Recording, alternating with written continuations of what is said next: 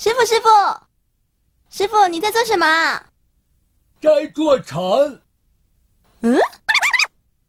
为什么要做禅呢？为了成佛。嗯？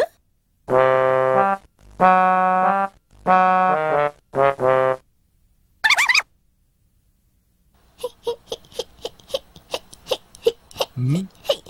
嗯？你在做什么呢？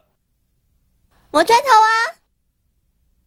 这磨砖在干什么呢？做镜子喽！哎，这砖头怎么能磨成镜子呢？